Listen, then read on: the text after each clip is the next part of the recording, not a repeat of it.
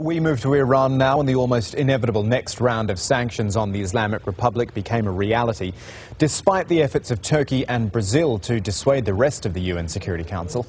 In a range of moves aimed at curbing Iran's nuclear program, the resolution will more than double the number of Iranian companies whose assets are frozen. UN member states must exercise vigilance with the Central Bank of Iran and other Iranian banks. But after pressure from Russia and China, Iran's oil and gas industries will not be targeted. The thing with these sanctions is that it's always claimed they don't target the Iranian people. They instead go after specific businesses and individuals with direct links to the government. But there is an argument which says Iranian business by association gets hit too. That's what I learned from Babak Emamian, who I spoke to earlier in the week. He is chairman of the British Iranian Business Association in London. Well, the effects are, I have to say, the effects have been there for a long time, and the negative sentimental effects uh, are, I give you an example. Let, us take our association. There are 2,500 professionals, expatriate Iranians, who are very successful around the world just because of the sentiment about sanctions and dealing with Iran would cause problem, neither, none of us are interested to deal with Iran. So Iran is losing friends like us, expatriate community, losing everyone else.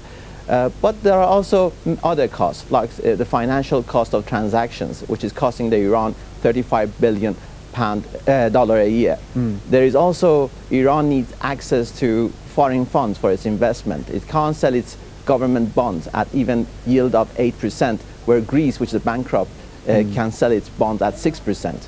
Right, so, so this, is, this is an interesting major, point. Sorry, yeah, I'll jump in there because, you know, we focus a lot, and certainly uh, some of the U UN Security Council members focus a lot on the fact that these are very targeted sanctions. They go after specific banks or specific businesses. But the knock-on effect, it's like a stigma, I guess, the stigma of doing business with anything to do with Iran.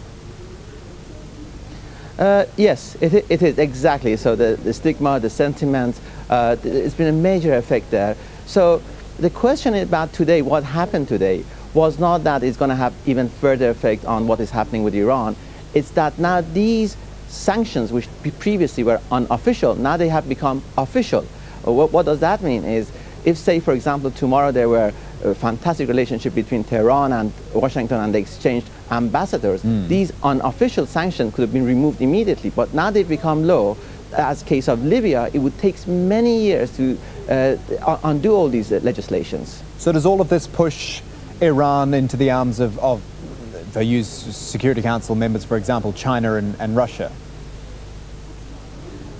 Well, I like to say it's like the first wave of attack. Uh, say Iran has been attacked on the first wave. Now, what is its reaction going to be? Because I, I, can tell you, if they do retaliate uh, on its first attack, the second wave of attack would be even more difficult. So the next round of sanction would be even more uh, massive.